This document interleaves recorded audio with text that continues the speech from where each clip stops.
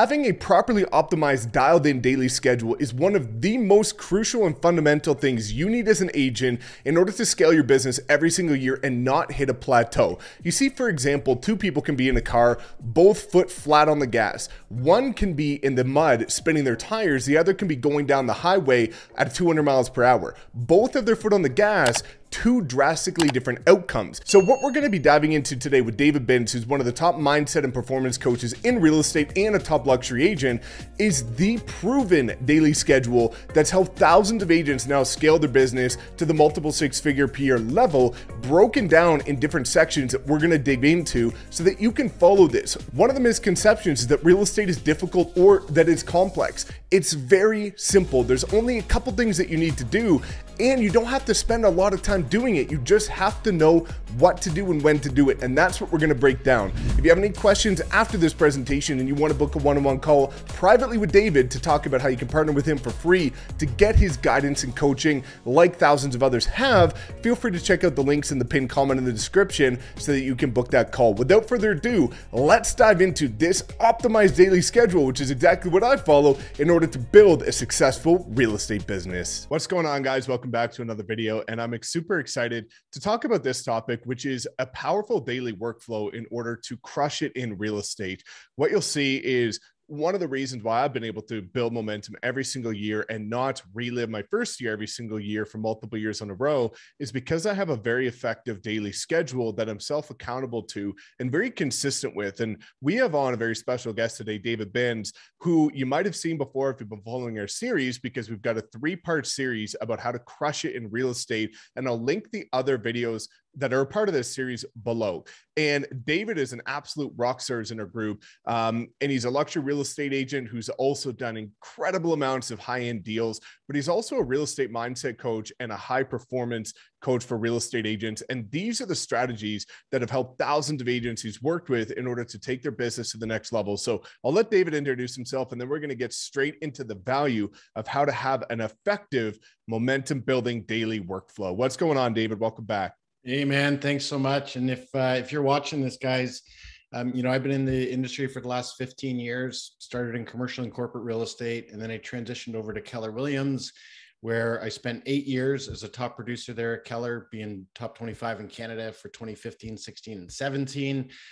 The whole time throughout my career, um, you know, and I transitioned to you know through other companies, eventually here to EXP, but during this whole time, I had the opportunity to lead personal development programs for the world's largest personal development company called Landmark, all while building a business.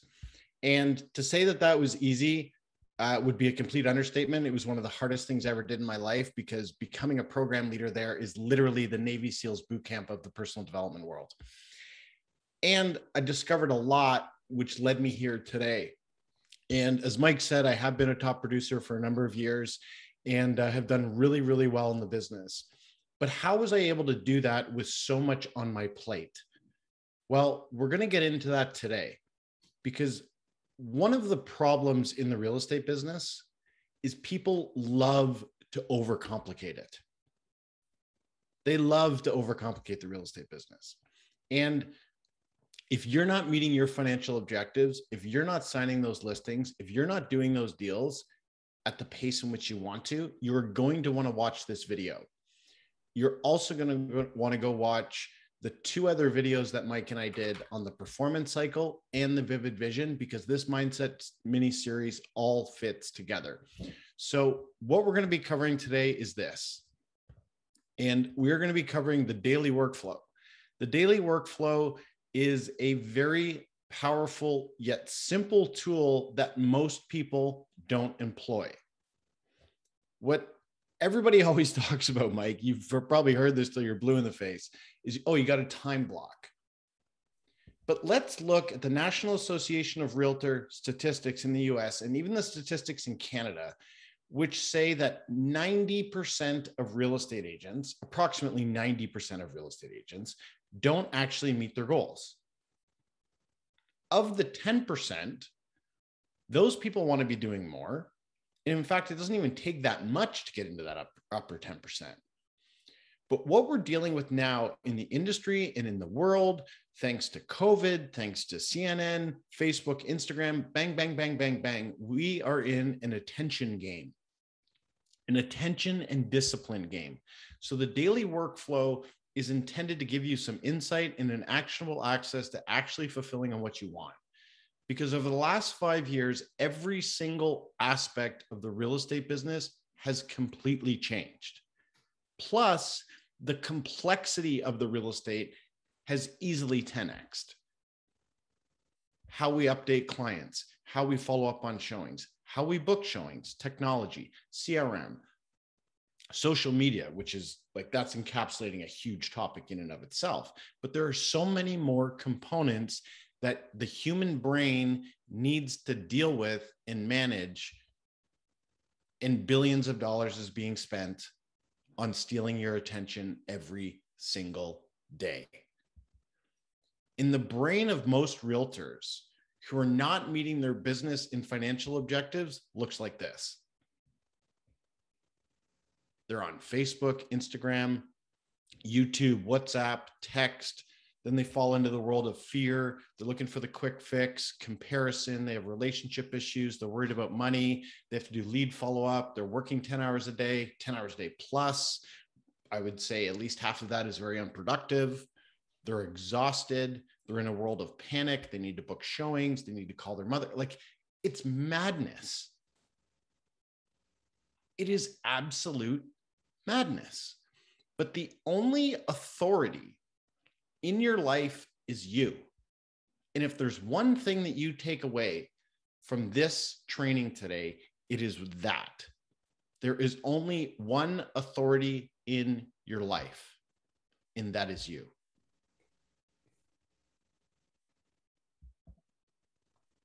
And you've got to get responsible for where you're putting your attention every single day. And this can be really challenging for people to understand. You know, I was somebody who grew up being constantly told that I had ADD, constantly. And I do, frankly. But what I've been able to do is put my attention where I want it to. And when I don't, because I can easily get sucked into YouTube, easily get sucked into Instagram. We all can. I know that I've got to delete the app for 24 hours. I literally do that. Okay, you just got to do a full stop because I have to get responsible for where my attention is. And look, in the real estate business, this is your only objective. You have to prospect to find new clients. You have to book appointments with those prospective clients. And you have to conduct the appointments, all while removing any and all distractions. This is the primary job that is going to fuel the future that you say that you want. Nothing else not scrolling, not aimlessly going through MLS,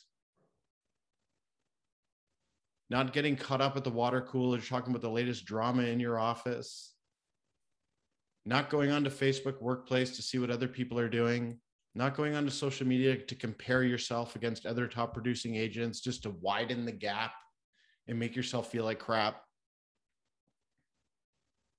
Not coming up with a new sign, like none of that stuff, guys. Your three core jobs are right here on the screen prospect, book appointments, and then go and conduct the appointments. And you've got to focus on the daily actions that will forward the future of your vivid vision. If you have not watched the vivid vision video that Mike and I did in that training, go back onto Mike's channel and look for that. It'll be within the last few weeks. And anything that isn't forwarding the future is noise and it needs to be eliminated from your space. So, what does it look like to create a daily workflow? Well, there are four quadrants to the daily workflow. First is prime time. This is priming you for the day, preparing you for the day. Now, I'm not presenting this in a dogmatic way that you have to do everything that's in the prime time every morning. Okay. I, in fact, do not work out in the morning. I do not like working out in the morning. I'll go for a walk, but I'll go train in the afternoon at the gym. I've tried it. I'm just not somebody who likes to do it. Wake up in the morning, brush your teeth, get present, have some water, have a coffee. You have to review your vivid vision every single morning for at least 10 to 15 minutes, following the steps that I provided in that training. Perhaps you want to read. Perhaps you want to go do some exercise, get out into nature. Create your morning prime time schedule from the moment you wake up till the moment your day starts. And then we have revenue time. During revenue time is where you eliminate every single distraction that is not forwarding the future of your financial objective. If it is not booking appointments, in connecting with prospective clients, it does not get done, with the exception of going to the washroom. It is you're you're putting yourself in a cell, literally, completely insulated from the world, to focus on revenue generating activities only. This one here is the hardest for people in our industry because they have all of their rationalizations and justifications, and they're at the effect of life. They're constantly just being distracted by something. They got to go do this, do this. Client demands. No.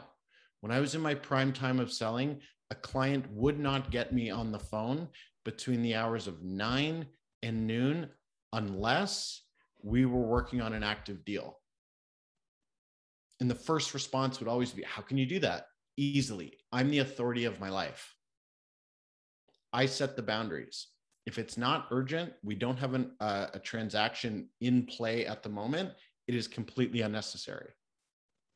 I really resonate with that revenue time because I did the same thing when I was building my business and focusing on production and scaling. And, you know, there was two things that I found were really impactful is, you know, I would put my phone on airplane mode and I would just work and I would remove there was no notifications, there was no scrolling, there was no anything yeah. popping up to distract. I would just I like literally right now my phone's on airplane mode because for the first half of the day I usually don't check anything. Um, but the one thing that I always thought was really cool about the revenue time aspect of it, and for me was working on my power list, is it's almost like the gym. It's like you, a lot of people dread going to the gym, but when you finish the gym or spin class or anything difficult that's physically exhausting, you feel a sense of, of, of, accomplishment afterward. And I found that was every single day, every single day, I had my revenue time where I was either door knocking or cold calling or doing the things that I hated, but I knew needed to be done to build momentum with the business. Is I would dread it every single time. And every single time I finished it, you felt a sense of accomplishment, you felt a win, and that's what builds momentum. And also, I kind of had this like competitive feeling where I knew that my competition was not doing that. So you feel like now you're getting a leg up on everybody. Instead of going on social media and comparing yourself to them, you're making yourself productive and outworking them. And it's a completely different feeling you get when you finish that, you know, three hour kind of momentum building activity. Eh, you're exactly right, Mike. And I, I'm remembering a story when I first started at Keller Williams. I was in a position where I needed to generate business. Like I had to generate business. And we had this bullpen at the back of the office on this back wall.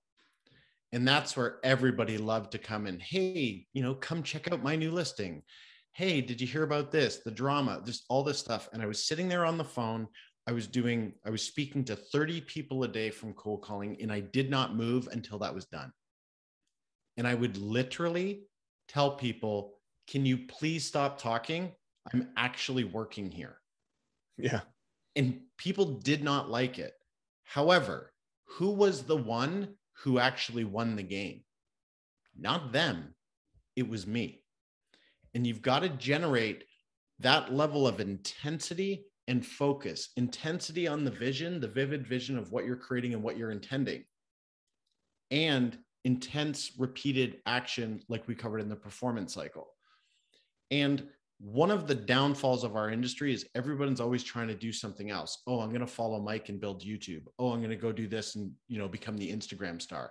oh i'm going to be the cold call machine oh i'm going to you know go do go back and go old school and do brian buffini like you have to pick one or two lanes to generate business and have the intestinal fortitude and discipline to stay with that for a consistent period of time being a minimum of two to three months you do that monday to friday two to three hours a day you will get into momentum, as Mike said. And momentum is the greatest prized possession of any realtor. Frankly, anybody in a sales capacity that's in 100% commission based business. But it takes something, it takes a deep trust to continue to go, continue to go, because the instinctual response is to go find another solution. Oh, this didn't work. I'm going to go do that if you just stick in revenue time for the next 45 days, I promise you, your business will begin to take off. And this list here is just, it's very limited. It's, it's, it's, it's an overview, but just go out and door knock. That should have a K on it. I do know that. you know, offer people complimentary CMAs. Pull up your sphere. There's probably 150 people there print it out, mail it to them. I guarantee you'll pick out a listing in the next 45 days from that. Guaranteed. Do handwritten notes to your sphere of influence. Cold call, door knock, post on social media, but don't get sucked into it. Like just stick in the revenue time. Then you have your admin and management. You have to attend to your emails. Intentionally use social media. Stop going on and looking at whatever it is that you look at on there. You don't need to. It's just filling your brain with garbage. And do your client follow up. Prime time, revenue time, and admin time. I have always said this. If when people follow this, your workday is done by two o'clock. And then you have showings and you know maybe an appointment, but you're actually revenue generating times to build and manage your business, there is no reason to work past two o'clock. None. When I was in my prime time of hardcore selling, I was done my work time by two o'clock. And then you have personal. What do you need to do? Do you need to go to the dentist? Do you need to get the car fixed? Like go attend to your personal life. Go for an impromptu coffee with your partner, your wife, husband, girlfriend, boyfriend, whatever it is. You have to attend to that personal side of the business, or pardon me, of your life, because that is such, as we all know in this industry, that can be a huge piece that gets missed because of the next client meeting, client demand, breakdown on a deal. Mike and I were talking before this call about, you know, dealing with really challenging sales.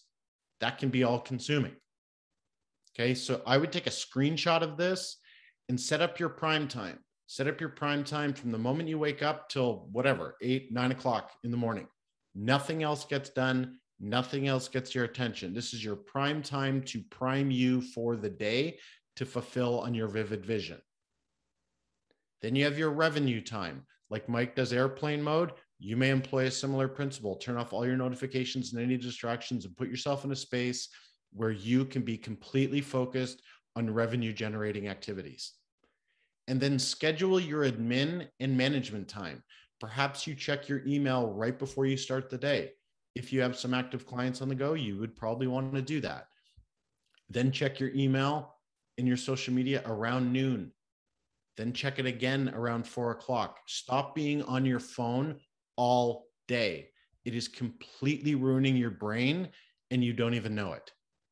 I think there's an interesting quality test to do there too that I always think about because you know I see people that especially if you're using an iPhone, I don't know what they do on Androids, but um, it, you know who uses those, right? But it, uh, it it gives you every week a summary of your daily usage and your average daily usage, and it's pretty funny because like my average daily usage, and and guys, if you're watching to this point, like keep in mind I run my business on social media. Like 100% of my business comes through social media. I've built it through social media. So most people make the assumption that I'll be spending all day, every day on my phone.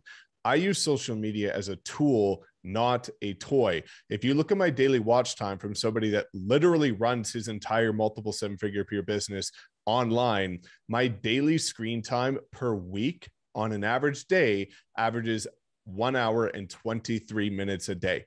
Most people that send me theirs is six to eight hours a day on their cell phone. So it's really interesting to see how much time you're spending on it because what I constantly see is like, you know, business is a numbers game in any business. And a lot of people, again, like you alluded to, David, you know, a lot of people overcomplicate it. Where I tell people all the time, like, if your business is not where you want it to be, if you go prospect for 10 hours a day every single day for the next 90 days, you're going to have a top producing business that you just built. But yep. most people aren't willing to do the numbers. It's all in the numbers. It's the simplest thing, but most people are willing to commit to the numbers. And I see agents saying, well, Mike, I'm working 10, 12, 14, however many hours a day. Um, and my business isn't what it's, you know, what I want it to be.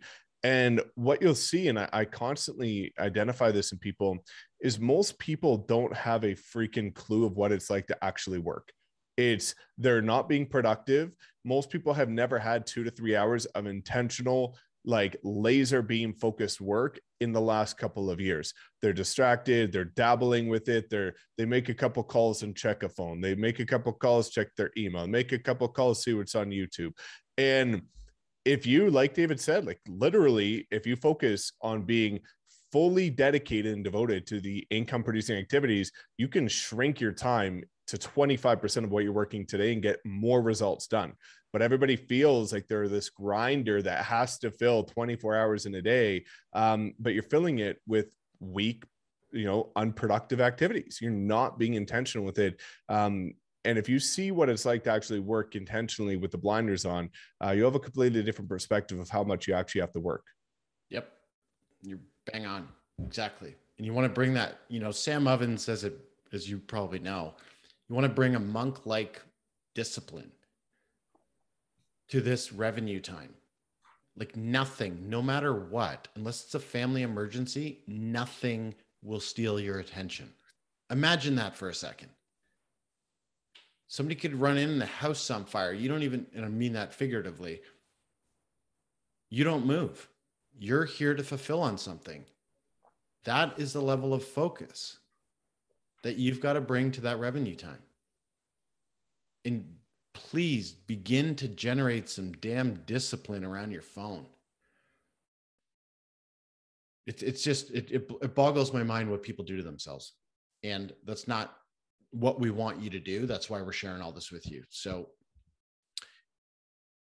like I said earlier, you want to choose one or two prospecting methods. Max.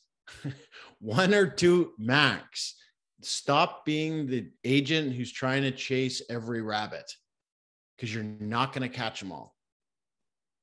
Pick one or two lanes and stay in your lane. The people who stay in their lane are the ones who are successful. And you want to pull out your calendar, go back here and schedule this time in, block this time in. And go get that done so you can go create the future that you say you want. Everybody says they want something. Everybody says they want to have this amazing, magical future, but few people go through what's required to actually go fulfill it. So don't be one of those people. And as I always say, go implement.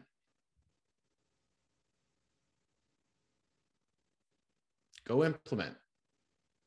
That's it. You got into this business for a very, very, very specific reason. It's up to you because you're the authority in your life to go fulfill on it. And that's it. Yeah, I think it's it's important because again, everybody complicates the real estate industry. They're always looking for the next shiny penny. They're always looking for the overnight success tool. And you know, in order to build a massive business, it's about doing the boring things that suck repeatedly over and over and over consistently until get until you get to the point where you've earned the right to do the things you want to do. Because I constantly see people that get into the real estate industry, new agents, and they say, Well, Mike, like, I don't want to prospect. I just want to put out YouTube videos or I just want to, you know, run Facebook ads, whatever. And, and you know, in very rare cases that can be done, it can work, but it that's in a complete anomaly. Um, and you know, I always ask these people like when when I got into real estate, I wanted to look back at the end of my first year and say there wasn't one thing humanly I could have done more in order to build momentum. Um, so I door knocked, I cold called, I put out Facebook ads every single day. I put out a YouTube video a couple times a week. Like I post on Instagram. Like I I did it all in order to say I'm going to look back and say I did the numbers. I put in the time, I cranked up the numbers, I did what I could. Um, and a lot of people don't want to do the stuff that sucks in order to get to the point where they can do what they enjoy. Uh, they want to skip that phase, but that's not how business works. Um, and the quicker you start doing the things like this that take the fortitude, that take the grit, that take you know the the mental focus, um, the quicker you'll get to the point where you can actually do only the stuff that you enjoy.